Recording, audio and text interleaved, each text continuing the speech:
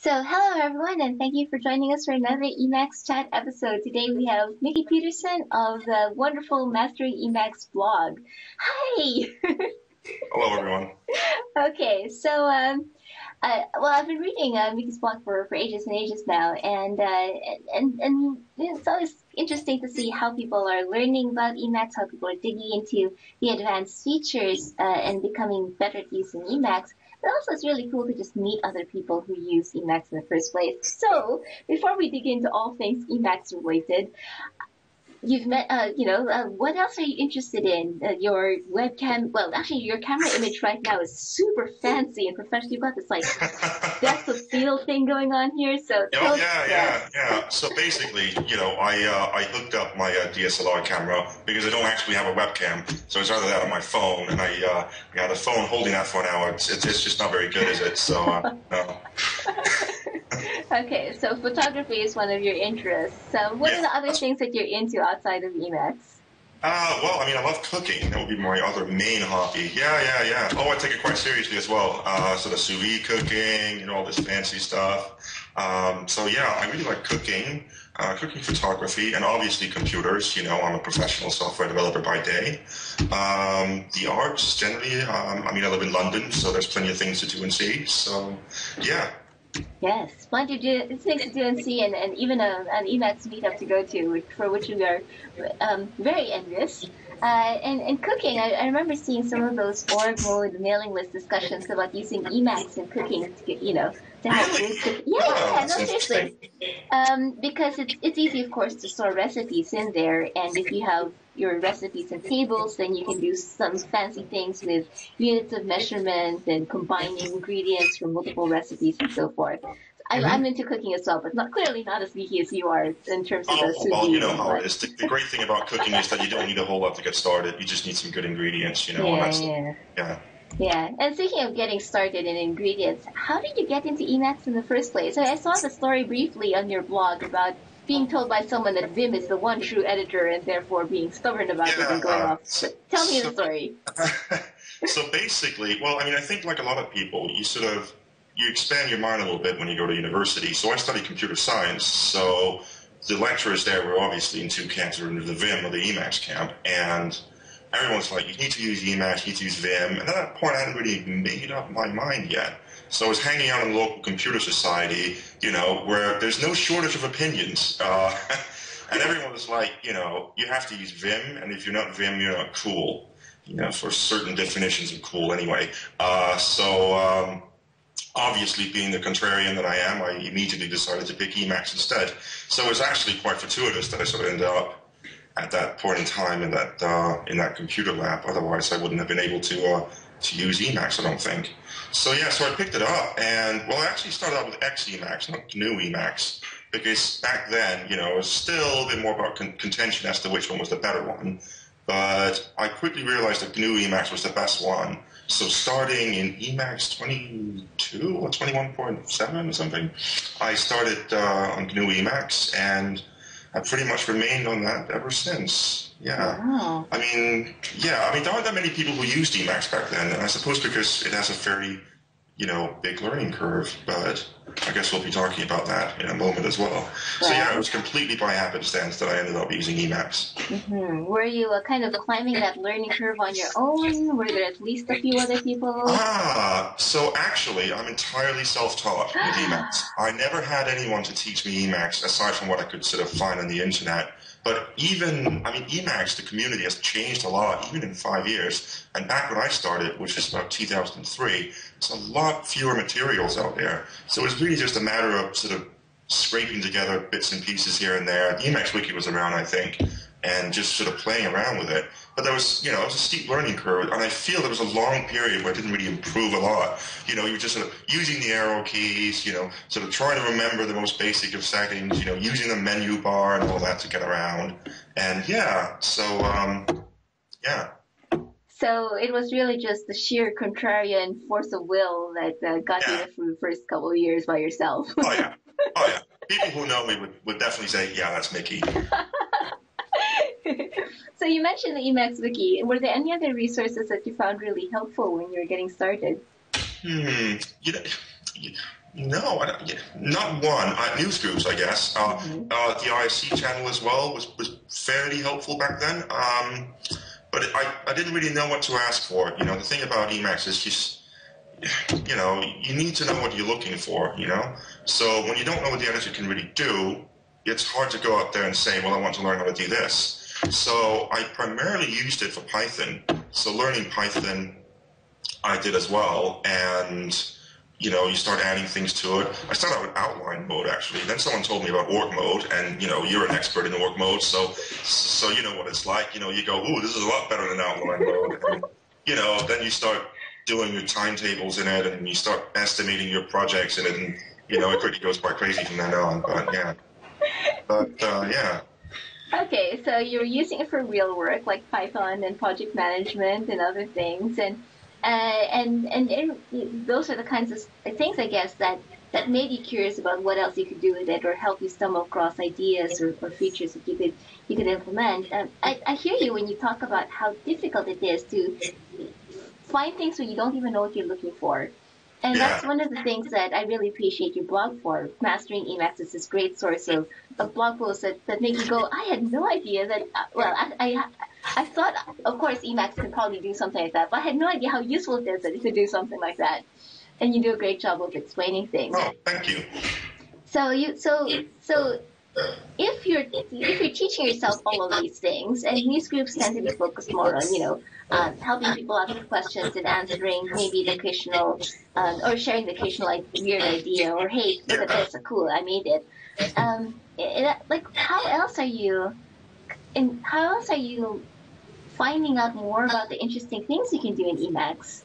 Yeah, so it, I think everyone has this sort of you know, linchpin moment where you sort of go, now I get Emacs. You know, maybe not all of it, you know, because, you know, it's a big, big editor, but you sort of reach a point where, you know, you, you know how to get more information. You don't, not necessarily by, well, yeah, I mean, I mean, Sacha, you must have gotten to the point now where you're like, well, here's a new mode. I kind of know how to install it. Okay, it's made easier with package managers. But, so awesome. yeah. So, you know, I know how to install it. You know, let me play around. I know where to look for the help in yeah. it, and I know how to list the key bindings, use find function, and all that stuff to sort of to help me find out more about things.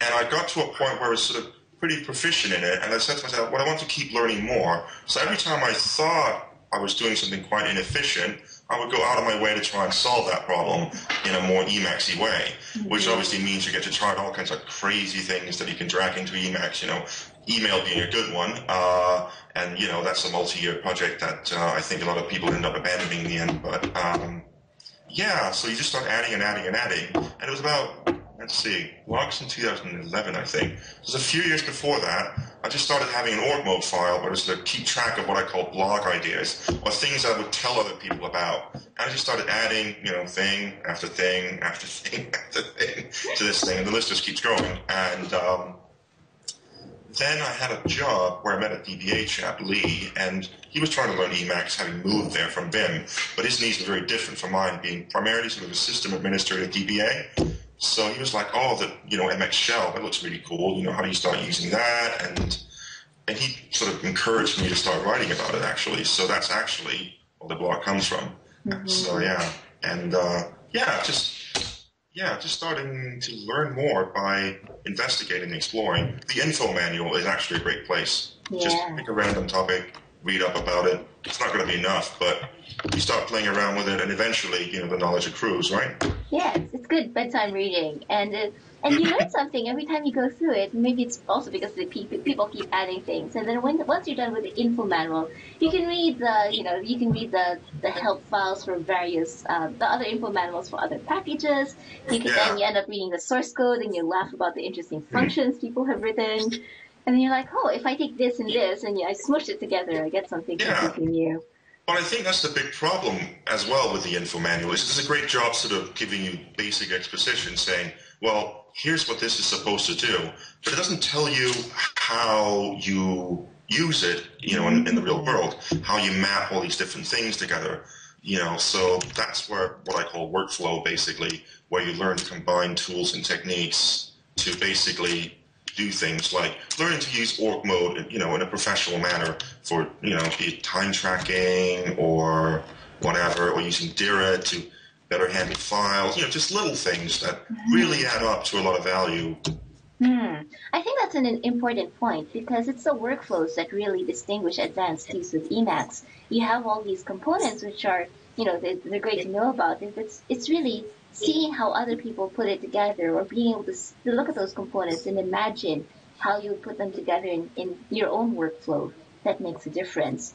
Now you mentioned, you know, getting to that linchpin moment, that point where it suddenly gelled and the, you know, the light shone and the angels descended from the heavens and said, this is, you know, what Emacs is all about. Yes, absolutely. and part of that was because you you figured out how to find your way around the documentation. Were there any other aha moments that, or, or things that helped you figure out, you know, get to that level of understanding the workflows and, and the possibilities? Uh, let's see. Well, I mean, being able to do a modicum of eLisp, you don't have to be an expert. You don't even have to be able to write your own modes or anything like that, but just understanding the basic syntax. And for most people, I think, you know, the gateway drug, if you like, is adding key bindings, you know, and then there's little snippets to set settings in a mode hook. Yeah, that's, you know, that's how it starts. And then you go, well, especially if you're already a programmer, admittedly, it will probably be a lot harder if you're not, but then you start looking at the source code because, you know, you learn that you can just click around in the, uh, in the help thing to, to sort of jump around and then you start reading the code and you go, oh, well, I can tweak this a little bit, you know, and well, you know, it's it's death by a thousand cuts, isn't it? You know, if you can call it that, where you get to a point where you've sort of accrued enough knowledge that you feel reasonably comfortable navigating. But you know, there's still things that I don't fully understand very well. I mean, mode is very complex. You know, there's lots of workflows that you can really learn. I never really mastered email either. I have to admit. and CEDET, am I even pronouncing that right? CEDET. Oh yeah, yeah, yeah. Yeah, which is an Emacs now in some form, uh, which is hyper advanced, you know. Uh, but I could never really crack that nut. So. yeah, ten years and you still feel like a newbie sometimes. Oh yeah, absolutely, absolutely. Yeah, yeah. What was it? So, so give me some specifics. Tell me the story of your first couple of customizations. What got you to fall in love with it? Ah, what was it? I suppose it was, you know, the fact that it does everything. You know, it, you know, it may not be the best at everything, but it can do everything. And things like shell mode integration was very useful. Um, even things like being able to sort of shell out to, to, to grep and have it, you know, um, hyperlink all the matches would be a good example. Uh, but it's mostly the little things. It's not even the programming modes themselves because Lots of editors do that, but few editors let you shell out to something, get the result back, and have it fed through Emacs or regular expressions that you can combine with S expressions to create, you know, strange side effect written replacements that do all kinds of crazy things. But yeah, it's it's all the little things I think. Um, but shell mode is probably the big one for me because I use it all the time. Okay, uh, and on that note, uh, because it's it's so interesting to see people's workflows in action. Would oh, you mind? I mean, you can think about this too, because we might not have prepared this segment. But um, but would you mind, say, walking through your configuration or or how you use things and really show things off to people who are like, well, okay, Emacs sounds cool, but what can you really do with it? You know, show off a bit. oh, now we can put on the spot. Or yeah. you could also just say, hey, you know, it, it, it, this is really cool. This is how I've set it up for me. Well, I mean, I can sort of share some of the things that I really like about it, perhaps. Let me just click a yeah. few buttons to get the desktop up here. Let's see. There we go. Awesome. Right. So I'm not sure that's coming through. Yeah, okay. I see it. Let's see if we can maximize. There we go. Oh, that's not really that, rendering. Yeah, that did funny things. Yeah, I was trying to maximize it. That was being a little bit too clever here. So, no, it's fine the way it is. Right. Well, I mean, let's see. So I like shell mode um, because you can edit it. It's just a text buffer. A lot of people like eShell, which is also nice. Oh, let's see. We don't actually get.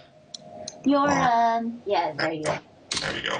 So we also have eShell, which is Emacs's own internal shell. Um, also great. And I do like that one as well. But I find that having used this one for 10 years, it's pretty much what sticks in my mind the most. It's mm-hmm. a useful tool, and the fact that I can edit is perhaps the biggest one.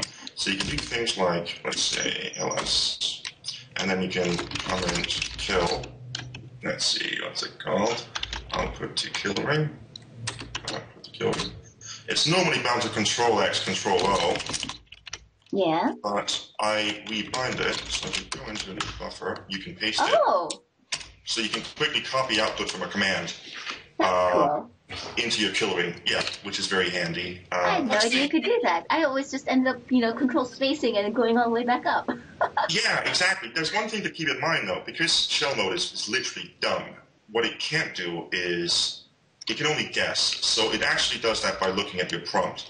so if your prompt were to appear anywhere in it, it, it would break the flow of it basically. But it generally works. Um, that's very useful.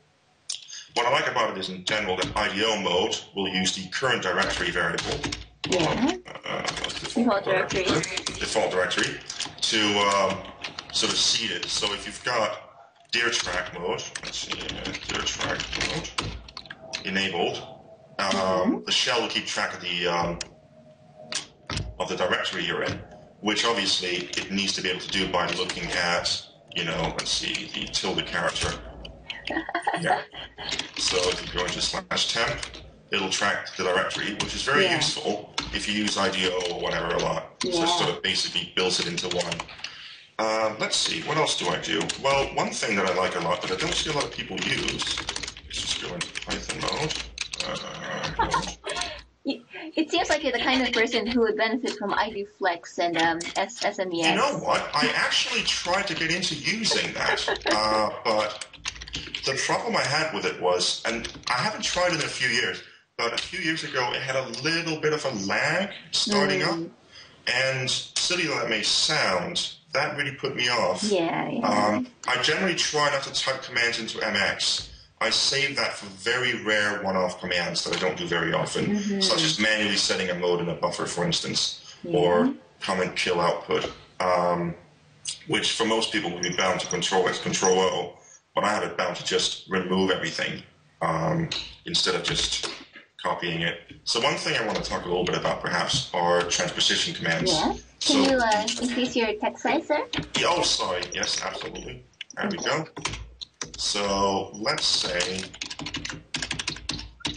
we're right here. So transposition is basically swapping the characters around the point. Now, one thing that confuses some people is where the point actually is but it's actually right here. Before, yeah. Sounds dumb. I know it's a dumb thing to point out, but you know, a lot of people, you know, aren't entirely sure if it's on one or the other side as far as the transposition commands go, but it's you know to the left.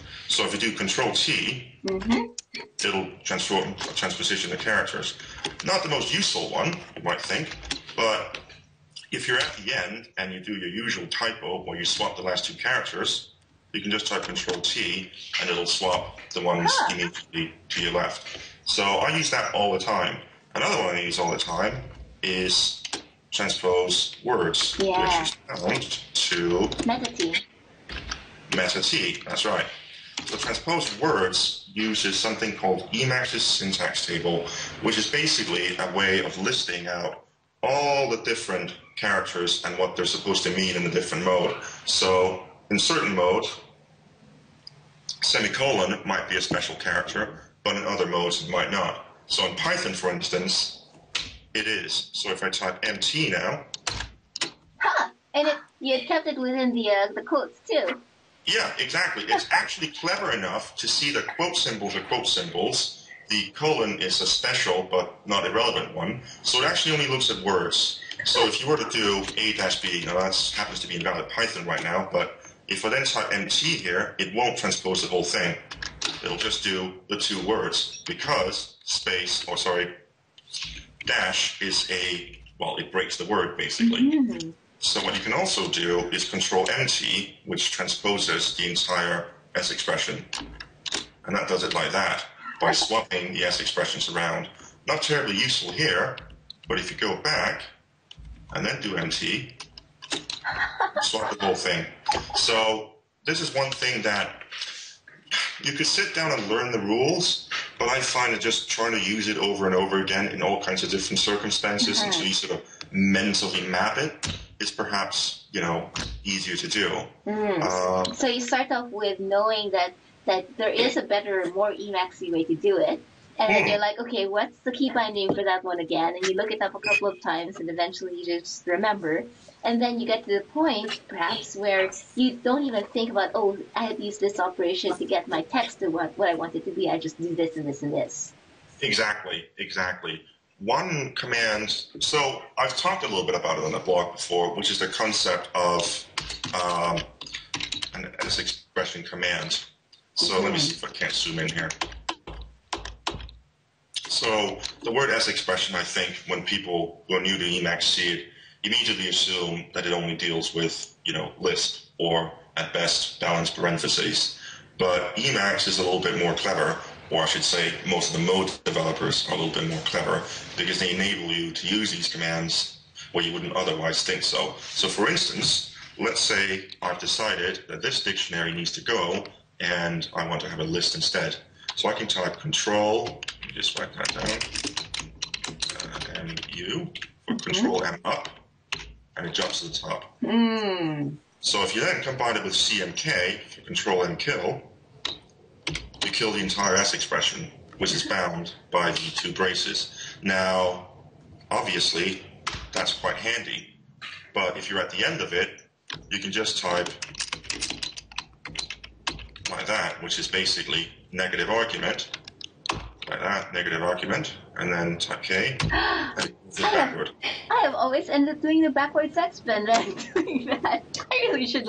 I should check well, the. The funny thing is, you know, I use the negative thing all the time because it's surprisingly useful as a way of sort of killing backwards multiple times instead of just moving your point around. So when I see, you know, really skilled Vim users move around, they're a lot more concerned about sort of you know, tailoring movement and delete commands to the exact task by yeah. counting lines or characters.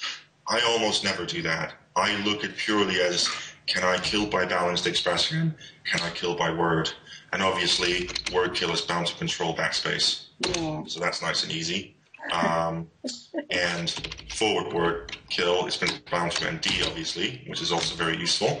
But one thing that a lot of people find surprising is that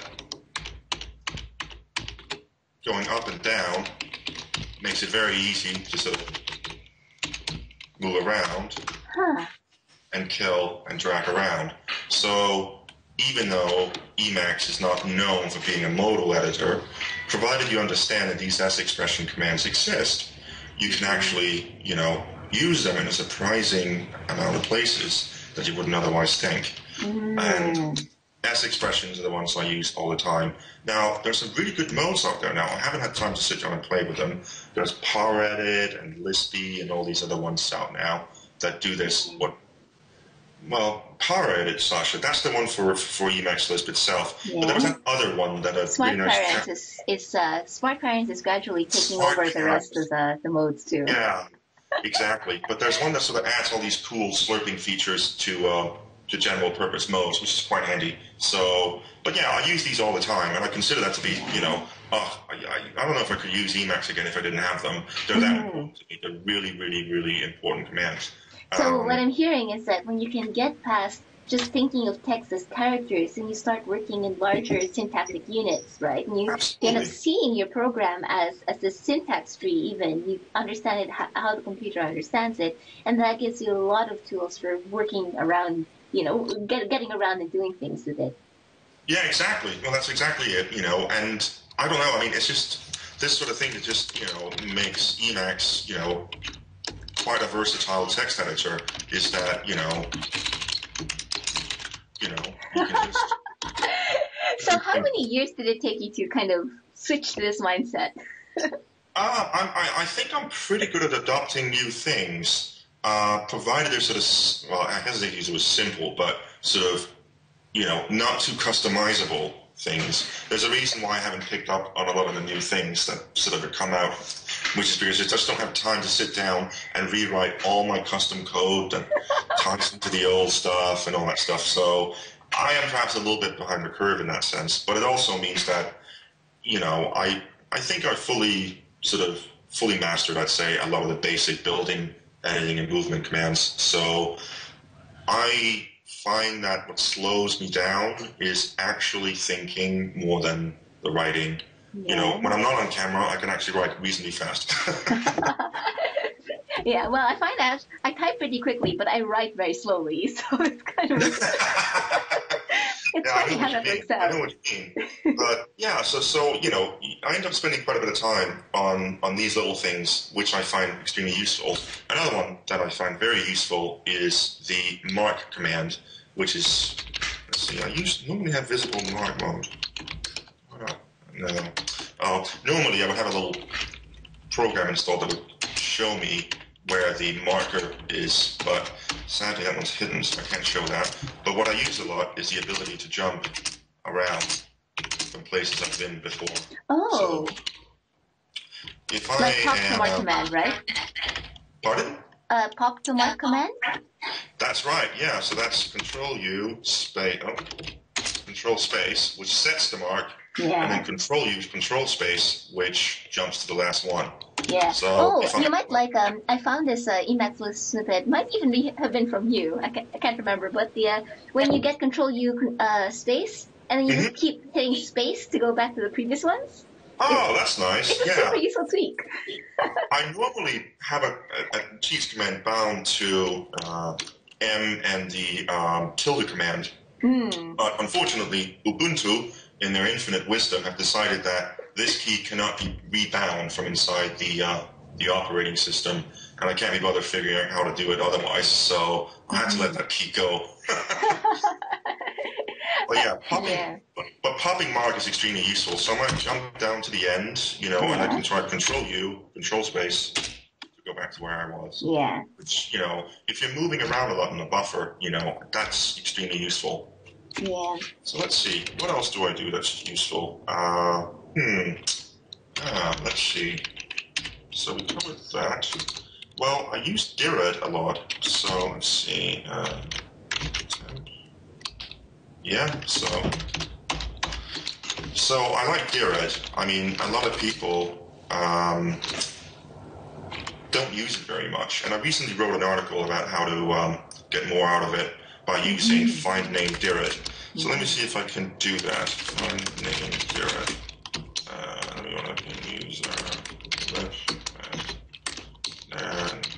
and start it as well. Does that give you anything useful? Yeah. yeah it does.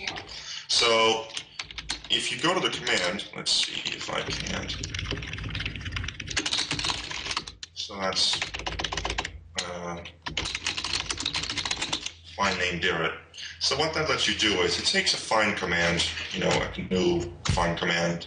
Yeah. You give it a starting directory, and then you give it, you know, a standard globbing pattern basically, and it will go through and it will get all the files that match whatever your find criteria is. Mm-hmm. Of course, there's absolutely nothing stopping you from constructing a more elaborate yeah. find query with greater than sizes and less than and all that stuff. And it basically lets you mark and mm-hmm. act on all these files in different directories as though it were one big unified Dired mm-hmm. session. So that will, in many ways, replace um, your standard find xargs yeah. command workflow from the command line. So that's very useful as well. Is find name Dired compatible with a writable Dired awesomeness? is it is it compatible with what? Sorry. Um, you know how Dali Dired or Control X Control Q will toggle the Dired uh, the buffer as editable. Does that? Yeah, that should work. I'm hesitant to renaming things in my SO. Oh yeah, yeah, yeah. No, no, no. But but yeah, that should that should work. That should work. So basically, the mode of operation here is um, so Dired will work with anything that follows this format. Yeah. So it's actually possible to manually write, should you be so inclined, this, or to get the output from the ls command, which has dash d, which I believe is the magic switch. Now dash out to make the uh, the Dired thing come out right like this. And provided the syntax is okay, tell it, which is a virtual Dired, I think. Virtual. Yeah, so let's see. Uh, so this one. That's cool. So yeah, so basically virtual Dired mode is it basically what you want to do if you let's see, okay. There you go. That's basically what you want if you if someone's giving you like a you know, uh, a text file that's full of ls things and you want to mark by it or search by it or whatever, you can basically go into virtual Dired mode, which assumes that it's not a real Dired buffer.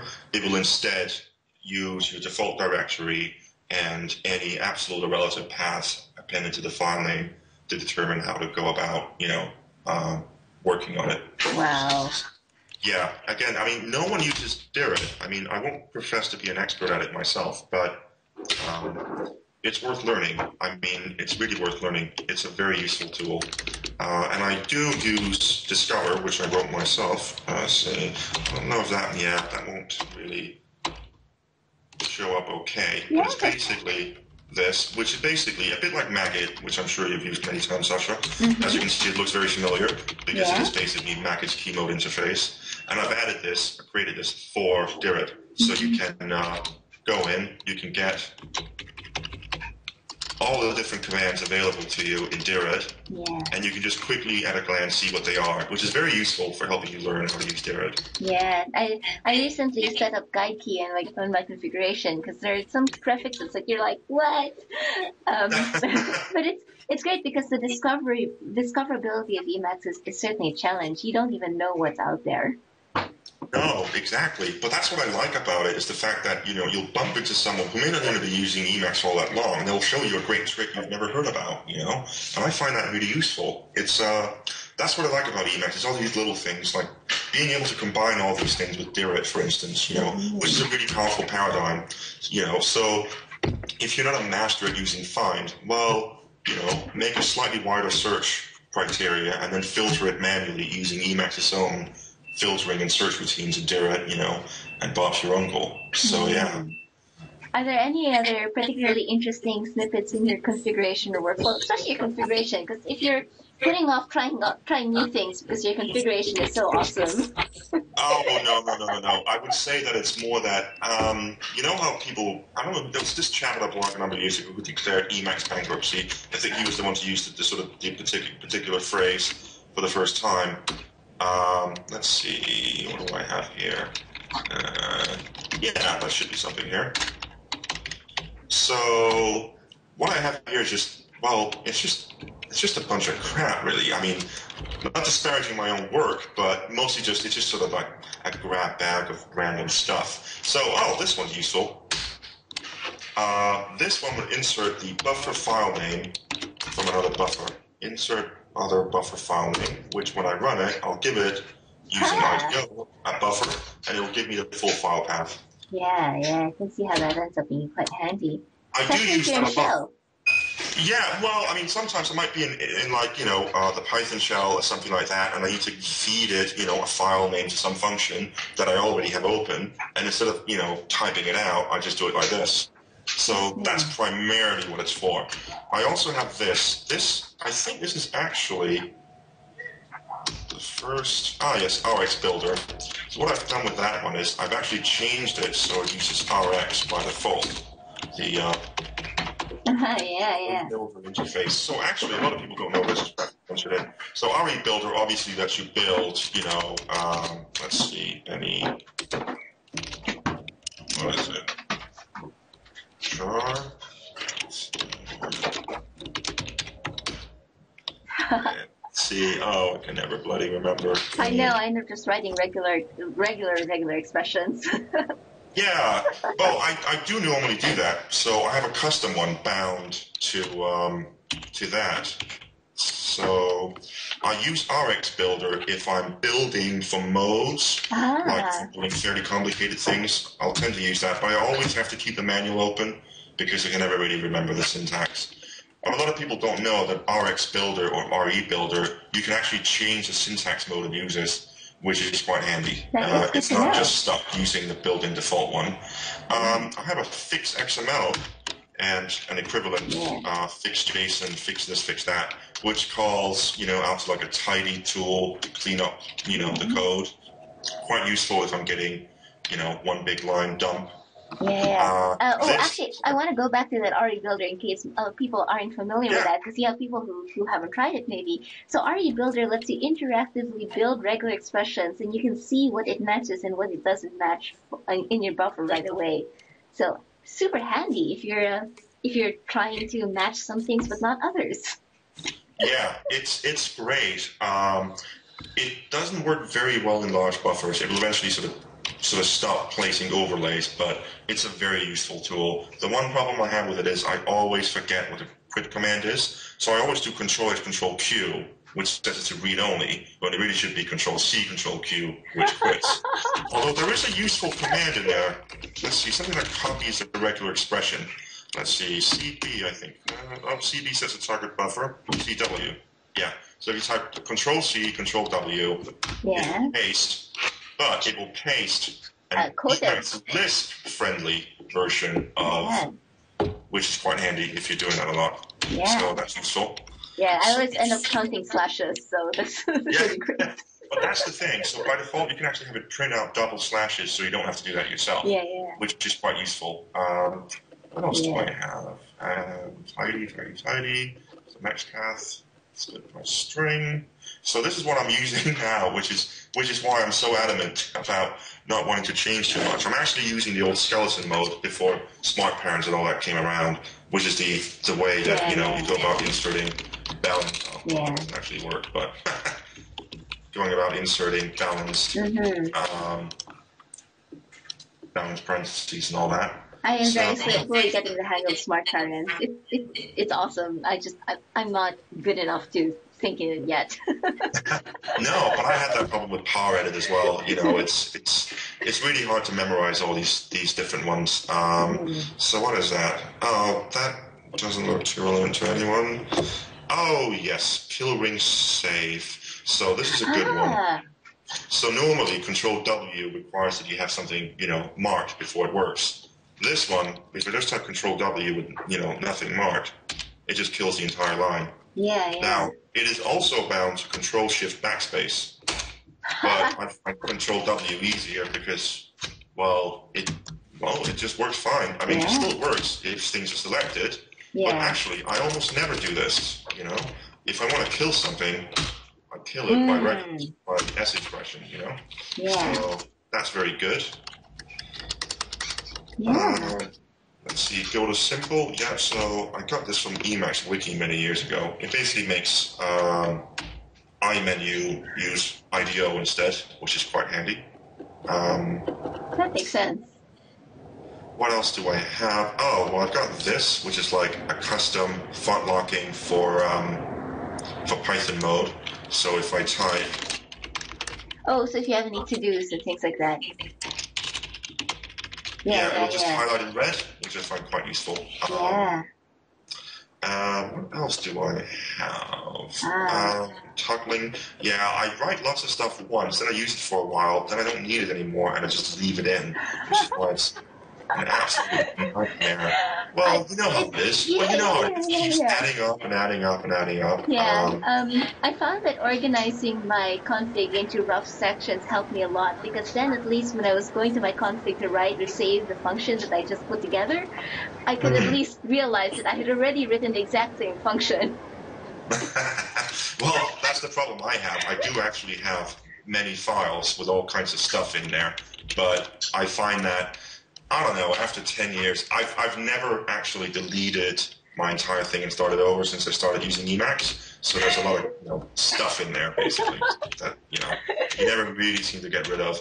And because I'm self-employed contractor, I'll work in very varying require, varying uh, companies. So in one of them, I'll be using Oracle all the time, so I need everything set up for Oracle. Other times, I just use Postgres. Yeah, you know, you really don't know, so you end up with a lot of stuff that you keep around in case you might need it again. Yeah. Um, but yeah, so what else do I have that's Okay. interesting? Well, I've got Smart Scan, which is, um, let's see. So basically, as you move around with point, let's see.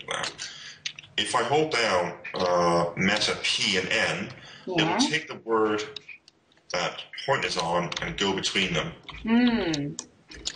So I find without any sort of prompt, nothing like that. It's great if you're, you know, you're browsing around in code and you go, oh, interactive. Where's that variable or whatever declared? yeah. Oh, let's have a look around and see where it is. Oh, well, there's some stuff here, Yeah. you know. So that's what I use it for. So Yeah. that's really good. That's really good. I use that all the time, all day, every day. Um, so, I'm getting the sense that your your uh, config accretes as you come up with little ideas for things that you could do more efficiently or, ways that you could tweak things, and then it just keeps on growing. Sometimes you remember what's in there, sometimes not. But you know, if you ever if you ever run out of blog post ideas, I'm sure you can just go through your config and pick snippets. Yeah, exactly. It is a big problem, isn't it? I mean, yeah, I mean, you know, it's it's a tough one, isn't it? I mean, yeah, but I think I've I don't know. I mean, yeah, I think that sort of covers sort of the things that I haven't yet talked about on the blog anyway, in terms of things, you know, particularly the transposition. Mm-hmm. You know, I've been waiting for, uh, I've been sort of writing a little bit about that subject privately that I'm planning on yeah. publishing at some point because I don't think people are really using transposition enough, which I think is a real shame. So, yeah. I don't remember, um, and I really should have checked beforehand. Is your config posted on the web anywhere? Nope, it's not posted anywhere. Mostly because there's some personal stuff in there uh, that's just that I need to clean out. But then I need to make sure that what I keep online and what I keep privately are still kept separately. Oh. So the way that I, I, handle it is I just have an Emacs secrets L file that I load. Ah, that's a good idea. Yeah, I like that idea actually. I've been thinking about doing something like that, but the problem I have is, you know, if I go to like this one, so I actually have a whole bunch of crap that sort of ties in to my Emacs. Mm-hmm. Like I'll go to a new computer because I work all over the place, and I'll type a few commands and it'll sort of bootstrap bash. It'll set up things. It'll download and install various stuff. You know, so all this is fairly automated in a very yeah. rudimentary way. I've been meaning to move it all to Salt or something, but it just I don't really get around to it because well, it's just time consuming. Yeah. So it's kind of funny. People tend to think, oh, it's, it's just a config. How, how will other people make sense of it? You don't see the workflow. But really, actually, when you read through other people's config, you're like, oh, I never knew that function existed or this thing could be configured that way. Like uh, RE Builder, it actually does have a way that you can set your, your default syntax. So it's it, it, it's always fun looking through other people's config. Absolutely, but that's the thing. I want to clean mine up so it's actually useful because if you just dumped it out there, people would be like, you know, it's, it's fairly uncommented. You know, there's no explanation about what a lot of the stuff does. So I'll have to clean it up first because you know I want to make sure people get a good impression of it. You know. Mm-hmm. Let me show you one thing that I don't think a lot of people have done before, which uh, is really quite cool. Yeah.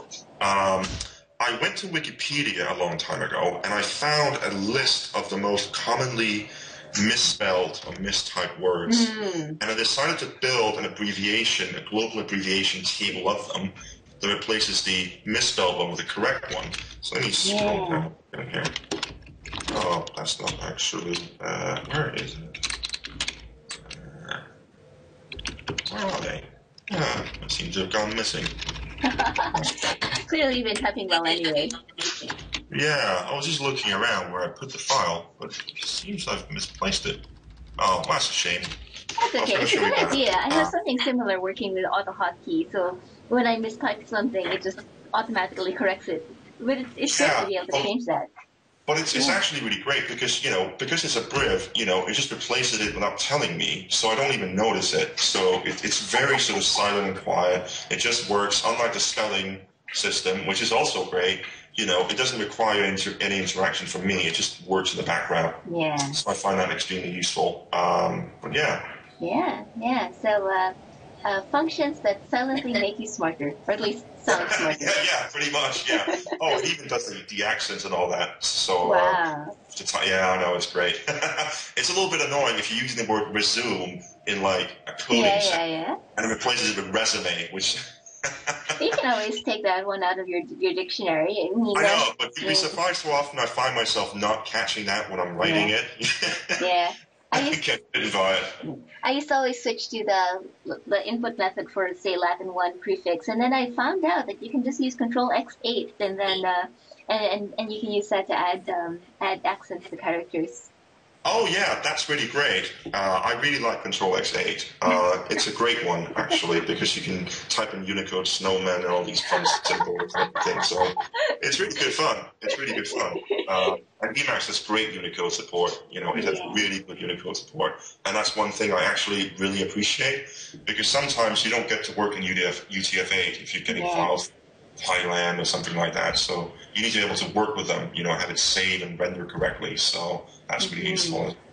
Okay. So what I'm what I'm getting kind of from this entire conversation is that the road to mastering Emacs is basically use it all the time. Think about how you're using it and when you're doing things that are inefficient or there are probably more Emacsy ways to do things.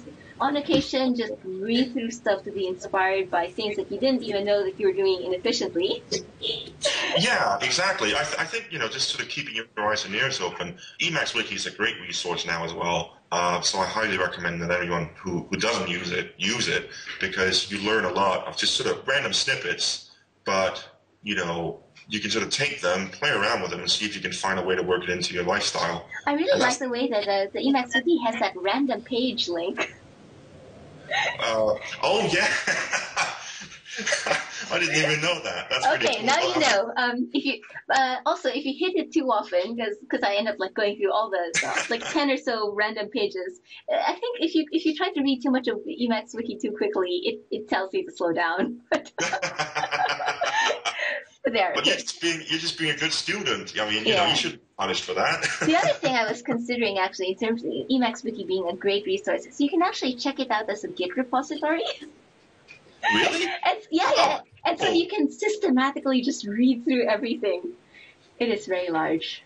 I also recommend there was like one good page that I found very useful when I was sort of sort of still learning Emacs. Well, I'm still learning Emacs, but when I started out anyway, was the um, random tips and tricks page. Random tips and tricks. Yeah, yeah. Yeah, and it's just it's just one-liners, you know, but there's some really fun ones in there, and sort of, well, they just make you think. You may not find it useful, but at least you know it's there. So when if you do need it or you do want to learn how to do it, you know where you can find it, which I find really useful.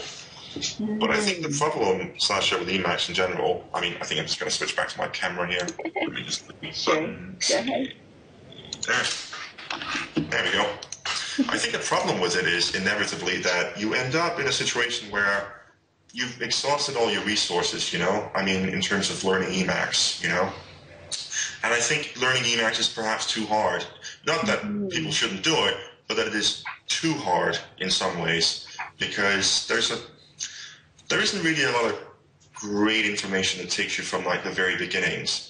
I wrote my very first article was, you know, like getting started with Emacs but looking back at it, you know, through 45 years of, of writing blog entries, I realize now that actually I don't think it's as useful as I thought it was back then, if, you, if that makes sense. Yeah. So I've been uh, sort of when I started the, the, blog a few years ago, I got approached by a couple of publishers to, to write a book, basically.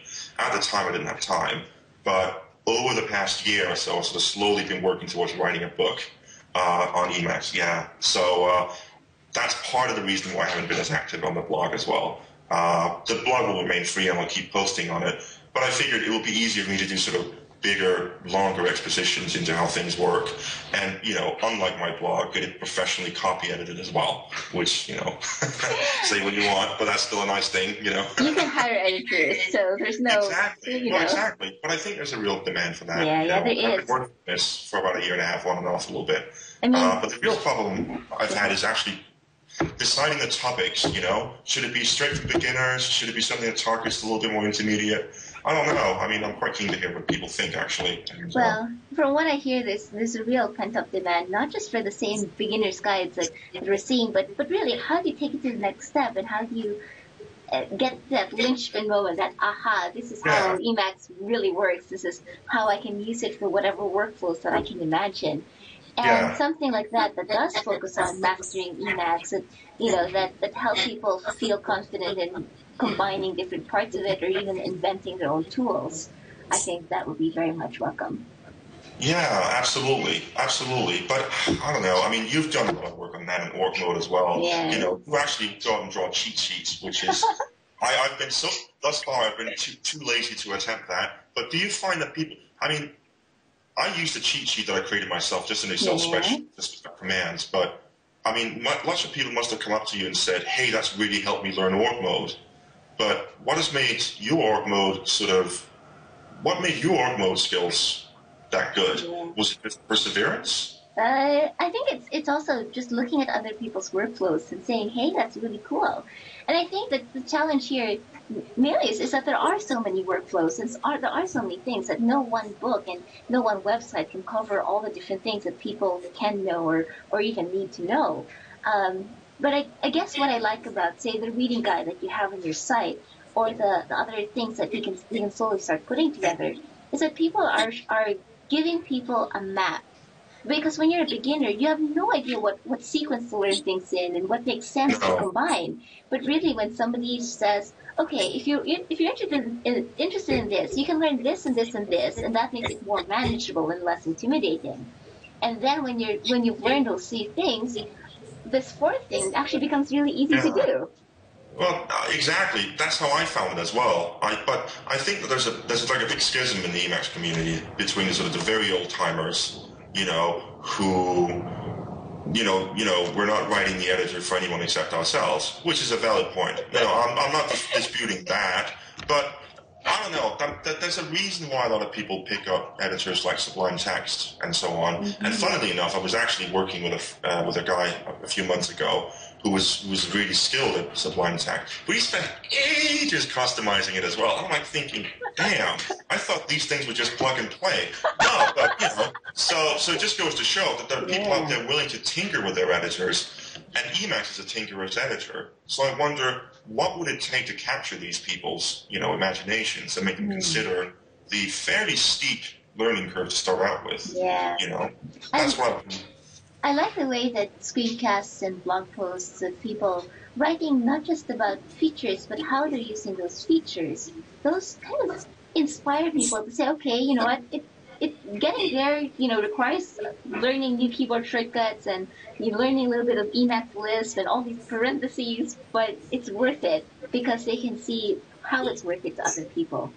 Yeah, absolutely. Which is why I've sort of switched to a more workflow orientated blog posting style as well, where I at least try and work in a few examples of how I use it, because I think people get more out of that than just, you know, sort of one long, one long rant by me about some topic. Mm-hmm. So.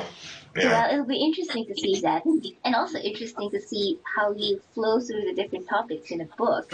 Um, I, I was working on the, on a wicked wicked cool Emacs sort of collection of, of snippets too, but I found the challenge was that every time I posted about something, people thought, oh, that's a great idea. Let me change the, the, the, you know, let me change the, the source code to make it even easier to configure so you don't need like three lines, you don't need like 30 lines of code, you just need like one configuration variable.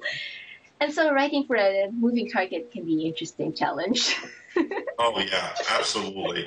The problem is people want my theme for some reason. You know, the color scheme you saw, and it's never been a theme because it was made way back in the day before themes existed. But I get people asking me for it. I'm like, I, will get around to releasing it. It's just that if I release it, I have to maintain it as well because they wanted the packaging, and then I have to version it, and I have to put it in the right place, and you know. Eh. well, it's all these little things, you know, but they just take up time, you know. But it's a good thing. But I think the Emacs community has really, really changed in the last few years, starting with the package managers and GitHub and all these things. Yeah. And I think Emacs is a, it's always been a friendly community, but it's an easier community to get into, I think, now than I it was. I think so now. I mean, with meetups and, you know, and and yeah. YouTube screencasts and all these other wonderful ways. Exactly. More more ways for the community to get to uh, to bond with one another. Yeah. Yeah. Well, thank you for being part of that community and contributing so much to it. Thanks a lot, Sacha. You too. Absolutely. Okay. I'll see you around. And um, everyone listening to Emacs Chat, thanks for coming too. Bye.